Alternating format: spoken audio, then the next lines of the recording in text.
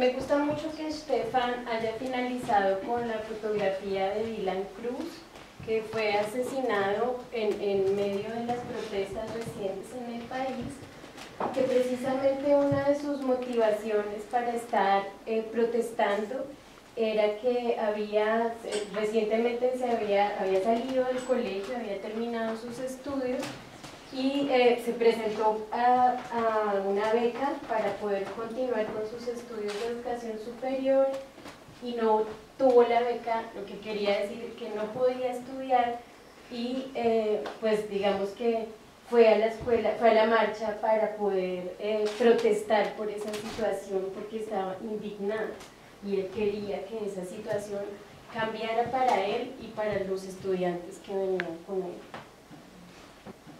Hay entonces dos formas de entender la escuela para que empecemos a entender por dónde quiero eh, conducir la charla. Una es como un mecanismo de reproducción de la cultura dominante, que por ejemplo ha estado presente en Colombia y que ha sido la culpable, sí, la escuela, de la pérdida de las lenguas indígenas, de, la negación, digamos, de la diversidad de una cultura como la cultura afro, eh, digamos que podría ser entendida como un mecanismo de reproducción. Pero la otra forma de entender la escuela es como una organización social de resistencia. Precisamente, buena parte de los protestantes hoy son estudiantes, los que están en la calle saliendo todos los días, porque todos los que vamos a la escuela vamos con el interés de que algo bueno pase en nuestra vida, de que algo bueno, eh, de que en unos años seamos, eh, seamos, no sé, científicos, astronautas, buenos cantantes, bueno, muchas cosas, y ese es el lugar de la esperanza, de construir otros mundos para que toda esta, esta historia de guerra que nos contó Estefan pues pueda ser distinta en otro momento. Y, el, y uno de los lugares donde eso ocurre, como Estefan lo decía, es, son las organizaciones sociales, son las organizaciones de resistencia, son los que piensan distinto y el lugar para pensar distinto, o uno de los lugares para pensar distinto es la escuela. Quiero explicarles brevemente para entender, eh, que entendamos cómo funciona la escuela colombiana. Esto es muy breve porque puede ser mucho más complejo. Nosotros tenemos un nivel preescolar donde están los niños más pequeños, es un año, digamos, este dura un año en la escuela regular. Luego tenemos cinco años de educación básica primaria, donde los niños aprenden a leer, a escribir, matemáticas básicas. Luego tenemos la educación básica que va de sexto a noveno, Luego tenemos dos años de educación media, que es como la preparación para entrar a la universidad.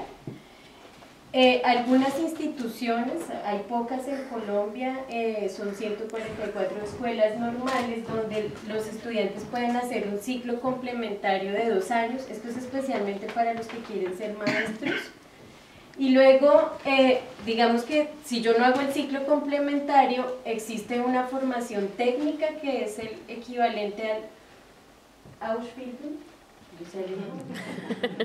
Eh, luego viene la educación tecnológica, son tres años, también puedes hacer educación profesional, de cinco años más o menos las carreras, y eh, el posgrado que pues ya es formación avanzada.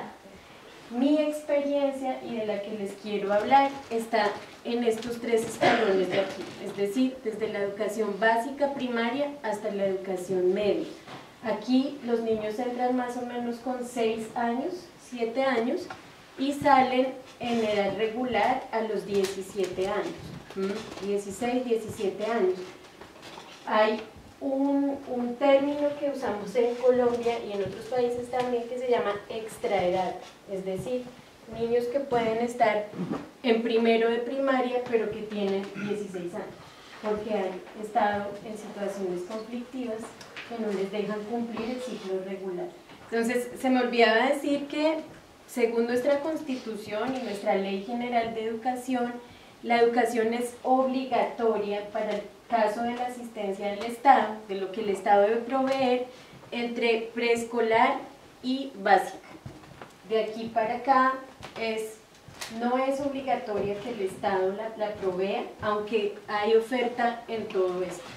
Un poco para entender las proporciones, en este momento en total hay 7.724 colegios oficiales, es decir, colegios cuya administración depende del Estado, y 2.404 colegios privados, es decir, donde van los niños entre los 5 y los 16 años más o menos.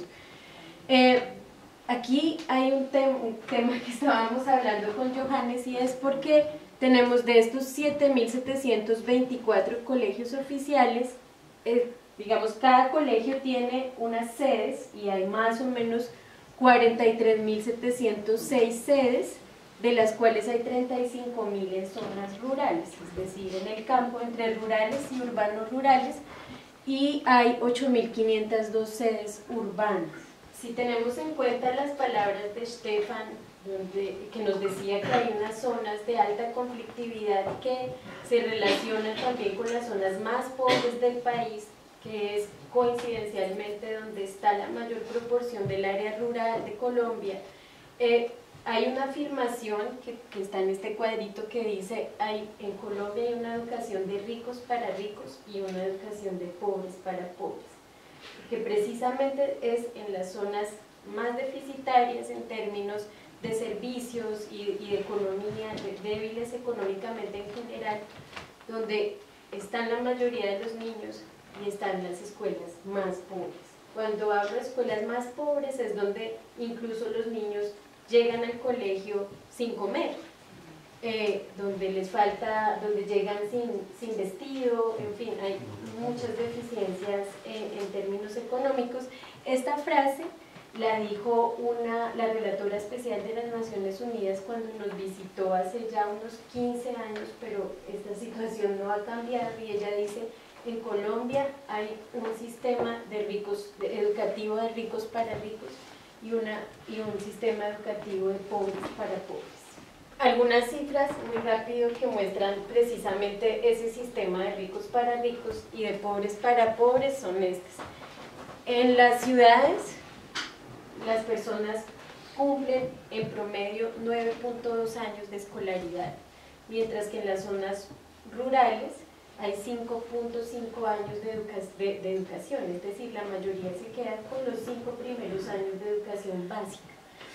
Eh, en la provisión de servicios en las escuelas, es decir, en las sedes de, educación, pues digamos que las cifras son un poco aterradoras, porque en las zonas rurales el 70% de las instituciones a las que asisten nuestros niños y jóvenes no tiene alcantarillado, el 40% no tiene acueducto, el 80% no tiene gas natural, eh, el 13% no tiene energía, el 22.2% no tiene conectividad. Una anécdota pequeña, eh, ahí tenemos zonas donde no llega ningún tipo de luz eléctrica, la luz se prende con una planta de gasolina y los, los directores de las escuelas deben decidir si ponen la gasolina para la ruta escolar, que en este caso es una lancha que los lleva a los niños por el río, o ponen la gasolina para tener una hora de luz eléctrica y que los niños puedan aprender a usar un computador. Entonces son esas decisiones que a veces nuestros profesores tienen que tomar. Eh, en el tránsito a la educación superior, pues este es el el porcentaje de quienes en las ciudades salen de nuestros colegios públicos y tienen acceso a la educación superior. Eh, hay un dato que no tengo muy claro, pero más o menos es apenas el 10% de este 40% quienes logran eh, llegar, completar toda la trayectoria, es decir, entrar a la universidad y terminarla. En, en, las zonas rurales, quienes logran pasar a la educación superior son el 22% y por supuesto el, porcentaje de, de culminación de su, de su, trayectoria es mucho menor. Y para el caso, pues digamos que esto muestra precisamente el desequilibrio, apenas el 1% de la oferta de educación superior está en las zonas rurales. Mm. Es decir, de este 22%, quienes acceden a la educación superior es porque decidieron salir de sus casas e ir a vivir a las ciudades, lejos de sus familias. El 44%, un poco poniendo la radiografía, en, en cifras la radiografía que hacía Stefan, de la población del campo está en situación de pobreza multidimensional. Esto quiere decir que tienen pobreza de todo tipo, es de provisión de servicios, eh, eh, tener acceso, digamos, al trabajo, eh, tener con qué pagar sus necesidades um, o con qué suplir sus necesidades básicas. Son apenas algunos datos. Aquí hay otro porcentaje que podemos llamar la atención en términos de los grupos étnicos y es que apenas el 30%, más bien todavía el 31% de la población indígena no tiene ningún tipo de educación, el 32.14% no sabe leer ni escribir, en este caso en español. Aquí hay una tensión interesante, sin embargo eh, hay lo que podemos decir aquí es que en general los grupos étnicos, por ejemplo en los, los grupos afrocolombianos, el 27% entre 15 y 16 años está por fuera de la educación media, es decir, también hay una segregación sistemática de los grupos étnicos que eh, coincidencialmente más bien o, eh, están eh, en las zonas rurales y las personas con, con, en condición de discapacidad también tienen una segregación, pues digamos solamente aquí dice que solo el 12% de los adolescentes en condición de discapacidad está en el colegio. Pero quiero también llamar la atención de un problema que hay con estas cifras, y es que si ustedes ven los años de, de los registros de estos datos son muy antiguos, porque uno de los problemas que tenemos en Colombia en términos de, de, poder definir las políticas públicas, los presupuestos y todo lo que de ellos se deriva, es que no tenemos sistemas de registro que nos permitan tomar decisiones. Entonces a veces también estamos tomando decisiones a ciegas, con datos del 2005, por ejemplo, porque no se encuentran más recientes. Eh, esto ya, ya lo presentó Stefan, solo quiero mostrarles que yo me voy a ubicar en una escuela que está en el Chocó y en una escuela que está en el Putumayo para explicar un poco más detenidamente cuáles son los efectos del conflicto en la escuela. Sin embargo, no son los únicos lugares, sino que todas las escuelas me atrevería a decir que sin excepción las escuelas públicas han sido afectadas de alguna manera por el conflicto, porque ese alto presupuesto que Stefan nos mostraba para que se ha invertido en la guerra y en la compra de armamento es el que se deja de invertir en las escuelas y en otras instituciones sociales, por supuesto. Estos son apenas algunos efectos donde podemos ver el conflicto, pero que son a mi juicio digamos, los efectos de mayor impacto en, en, en la escuela hoy. Este es un mural de, de, una escuela en Montes de María, no es ni en el Putumayo ni en el Chocó, es en la, en la costa, cerca de Cartagena, donde la mayoría de gente va a pasar sus vacaciones. Está una escuela donde han sido desaparecidos dos rectores, 20 maestros. Entonces, ahí muy cerca está.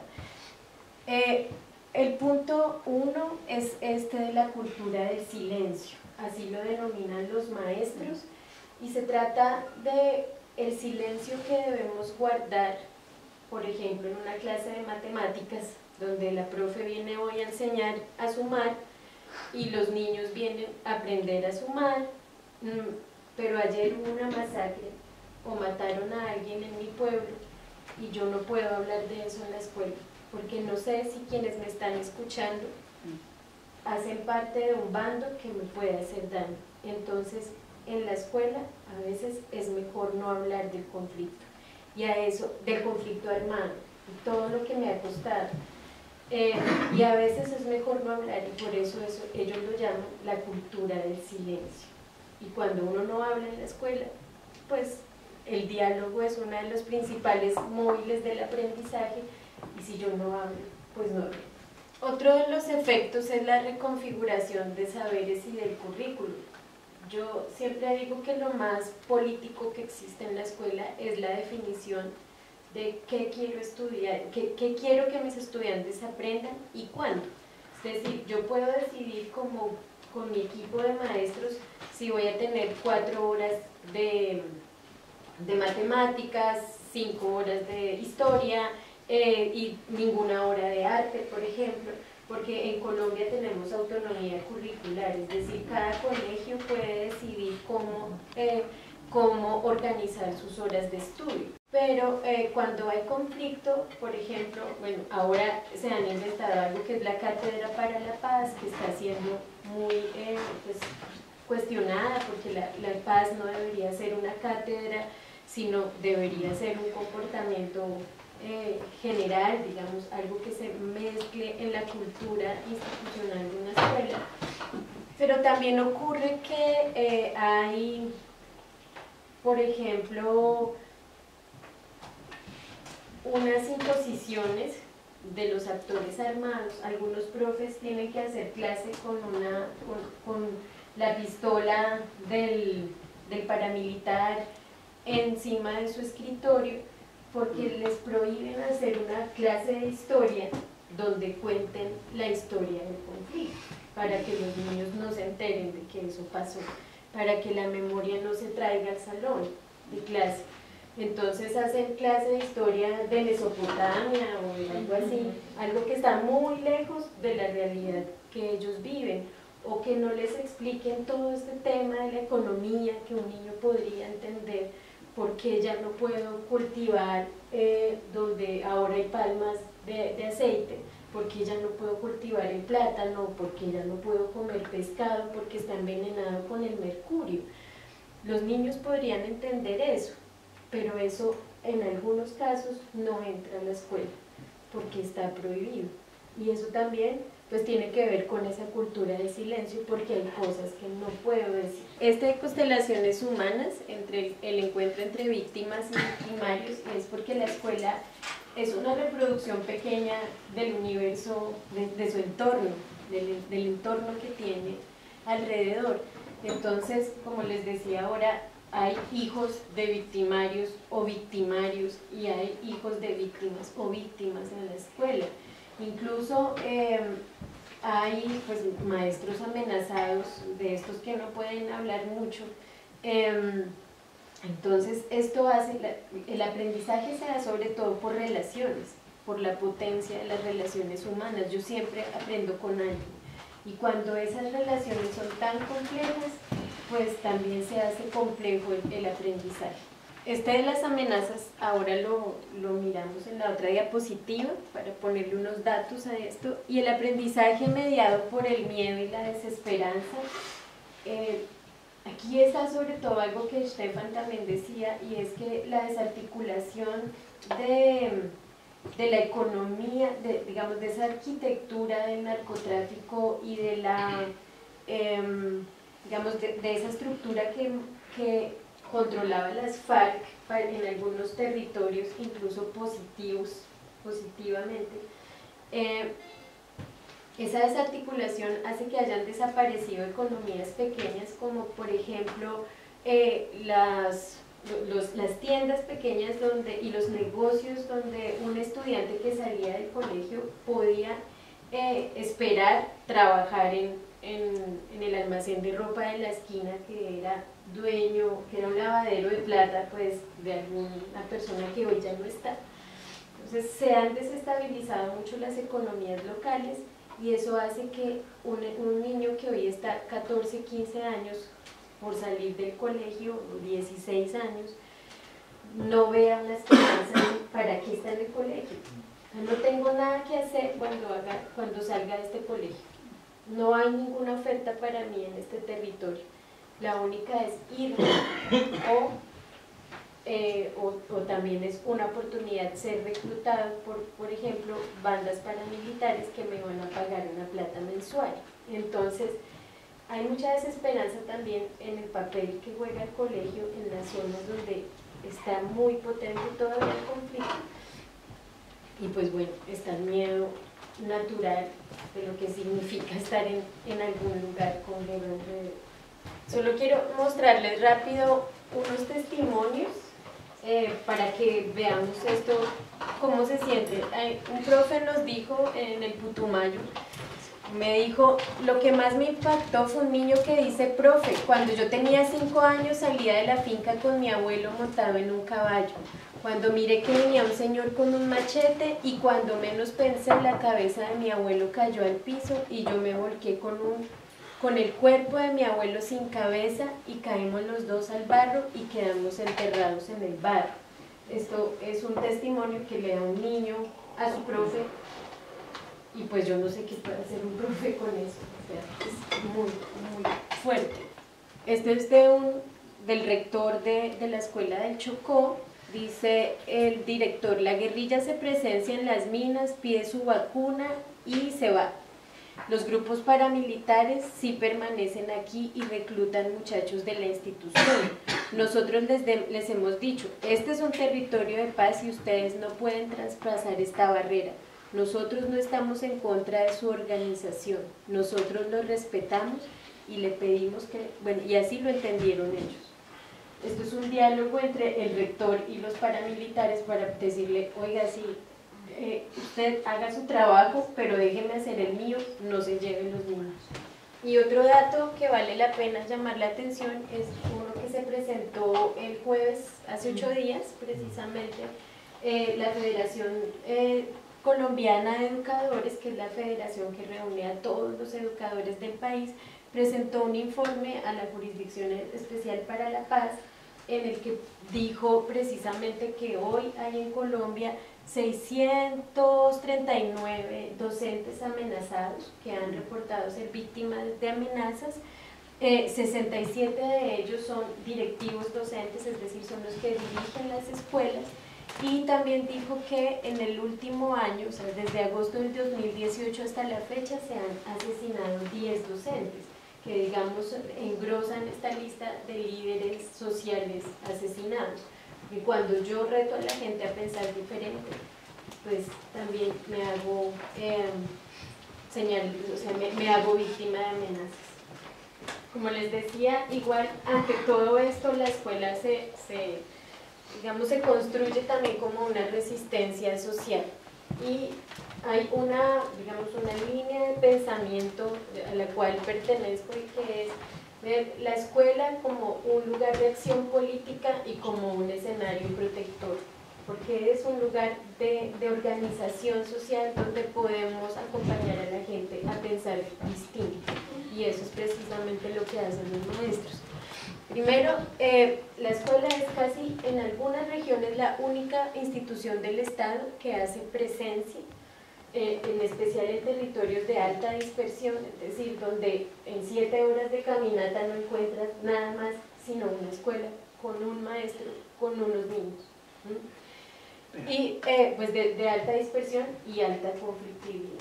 Y la escuela pues tiene una misión muy importante desde el 91, por supuesto también desde antes, pero desde el 91 con nuestra nueva constitución, Colombia se promulga como un Estado social de derecho, de formar a los ciudadanos para el Estado social de derecho. ¿Qué significa eso? Enseñar a los niños a que tienen derechos, a que lo que el Estado les da no es un favor, porque eso pasa en nuestro país. Cuando a uno le dan algo, niño dice, gracias. Sí, es, es, es como si el Estado le hiciera favores y no garantizara el derecho. eso es distinto. Pero la escuela también enseña a exigir los derechos pero la escuela también enseña a respetar los derechos. Entonces lo que decimos es que el derecho a la educación es un derecho que permite la vivencia de los otros derechos, porque yo los puedo conocer y apropiarme de ellos. El otro tema es que la escuela, cuando la escuela resiste, promueve la reflexión pedagógica y el desarrollo profesional de los docentes. ¿Qué quiere decir eso? Yo me hago docente no con un título, sino en el ejercicio de mi docencia. Y cada vez que aprendo, nosotros decimos en, esta, en este pensamiento pedagógico que hay diferentes formas de hacer escuela. No es lo mismo hacer escuela en Bogotá, vivir la escuela en Bogotá que vivir la escuela en, en el Chocó o en el Putumayo. Tengo que a pasar por un trabajo de reflexión pedagógica y crear una forma distinta de ser escuela. Entonces, cuando los colegios logran hacerlo, pues digamos que hay una, o sea, emerge y se crea una forma de resistencia. La otra es que, bueno, lo otro es que cuando la escuela se hace más fuerte, cuando rompe sus fronteras físicas eh, y se vincula con procesos organizativos comunitarios, es decir, en esa reconstrucción de saberes hay escuelas, como es el caso de la escuela del Putumayo, por ejemplo, que hace una gran marcha por la paz, la cultura y la identidad, así le llaman ahora ellos a su gran proyecto, y la marcha no es solamente el día de la marcha, sino todo lo que pasa para organizar esa gran marcha, y se vincula con toda la comunidad, y cuando eso pasa, la escuela se, se vuelve el centro de la construcción del tejido social que que logra que la gente piense distinto y se ponga en función de construir la paz. Y todo lo que hacen va para allá. Las clases de matemáticas, las clases de español, todas las clases, eh, asignaturas, contribuyen a esa gran marcha y a esa gran reflexión por la paz, pero se hace con las mamás, con el señor de la tienda, con el que tiene un, un negocio, bueno, en fin, toda la comunidad se suma a eso. Y bueno, también se hacen más fuertes las escuelas cuando logran ampliar el tiempo escolar, es decir, el número de horas que los niños pasan en el colegio. Esto ocurre en las dos experiencias, eh, en, el Chocó y Putumayo, que, que, son como las que tenemos en foco, pero digamos que ahí hay una contradicción, porque los niños pueden estar más tiempo, vienen con sus mamás, hacen trabajos, eh, las mamás, las abuelas, todos en la escuela, pero a veces pues requieren otras condiciones, porque los niños a veces no se pueden quedar porque no hay con qué almorzar, no hay con qué devolverse, plata para devolverse a la casa más tarde si no es con la ruta, entonces logran hacerlo, pero por tiempos muy cortos, eh, pues ahí digamos, esto hace parte de, como de los desafíos de estas experiencias para que se mantenga lograr también gestionar otros recursos y eh, lograr que los niños puedan estar allí más tiempo. Entonces, solamente para mostrarles, esta es la Escuela del Tigre, donde este proyecto que les cuento, la Marcha por la Paz, la Cultura y la Identidad, eh, esto lo dice un docente de la institución, dice la paz como un deseo que todos tenemos frente a la armonía, que se, eh, a la armonía en la que se puede vivir. Cómo apostarle a una cosa totalmente diferente. Trabajamos con la cultura, entendida como música, deporte, nuevas alternativas para que los muchachos busquen otra vía diferente a lo que se presenta en el contexto. Entonces, esto es un trabajo muy, muy grande, pero está en riesgo también de mantenerse porque las condiciones a veces son difíciles. Sin embargo, lo están logrando, lo están haciendo. Esto que pasa en el Tigre tiene mucho valor porque el Tigre fue un lugar donde en, eh, hace 20 años, 1999, se presentó una de las masacres más crudas que haya tenido el país. Allí se eh, asesinaron en plaza pública a 28 personas o eso dicen las estadísticas legales, y otros 14 fueron desaparecidos. Y esto fue a los ojos vivos de todo el mundo, niños, abuelos. ¿Cuándo fue eso? En 1999. Y eh, esta es la institución educativa Antonio Inglés, en el Chocó. Está cerca de una de las reservas biodiversas, digamos que todavía quedan vírgenes en el Chocó, más o menos el 15% de esta reserva es virgen eh, y ellos pues tienen además todo lo que, lo que viene con el conflicto, minería ilegal, em, em, eh, envenenamiento del agua por mercurio, de los peces también por mercurio, contaminación ambiental. Pero lo que ellos están haciendo es concentrando todos sus esfuerzos en el reconocimiento de los saberes ancestrales de la planta y del territorio, precisamente para resistir desde la escuela con el territorio ante todo lo que está pasando y al menos conservar ese 15% de reserva biodiversa.